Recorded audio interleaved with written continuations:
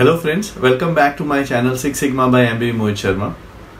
Today's video is a requested video. There are so many requests from the viewers that I create a video on nominal logistic regression.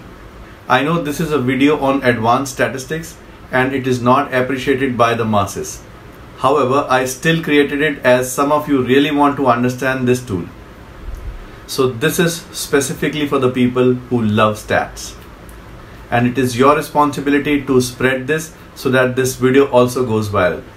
Before we start this video, let me tell you what is nominal data. When we study data, we consider two variables. One is numerical and the other one is categorical. Numerical variables are classified into continuous and discrete data and categorical variables are classified into nominal and ordinal data. So the definition is nominal data is a classification of categorical variables that do not provide any quantitative values. Ordinal data is in order but there is no order in categorical variable. For example, type of ice creams could be vanilla, chocolate or strawberry is a nominal type of data. And when it is studied with customer age, gender, then it becomes nominal logistic regression that we can use. Let us take an industry example to understand how nominal logistic regression works.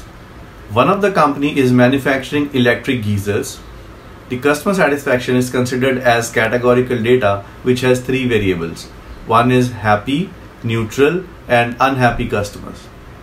The two predictor variables are time to deliver the order which is called TAT and the second one is accuracy levels called accuracy standards which are at two levels met or not met.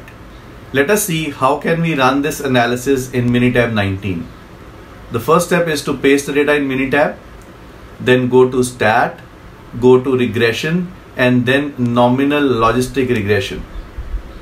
So I'm staying here for a moment, go to stat, go to regression and then nominal logistic regression and then click. You will get this kind of a window. In this window, under response enter customer satisfaction and under model enter both predictor variables. Under categorical predictor enter accuracy standard and then press OK.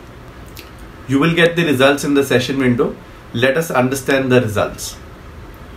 System has automatically picked up unhappy as the reference event and I am good with that. Otherwise you can change it as well.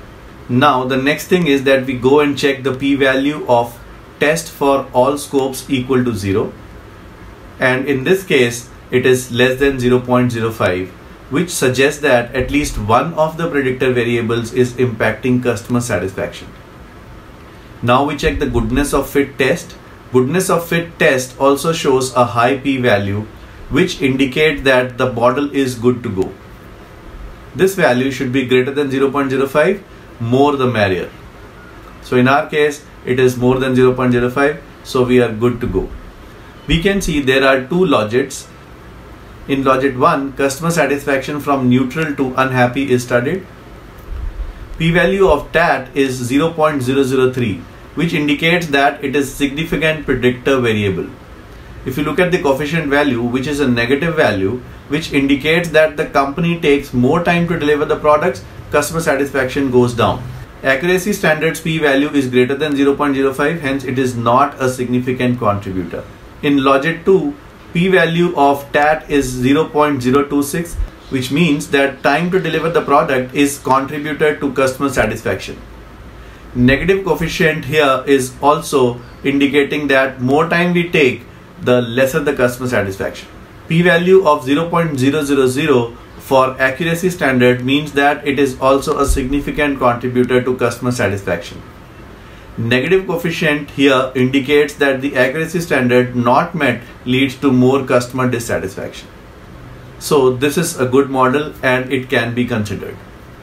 So friends, I hope you would have understood what is nominal data and what is nominal logistic regression and how it can be performed in Minitab and how it can be interpreted also. So if you like this video, please give it a thumbs up and share this video with your friends. Thanks for watching.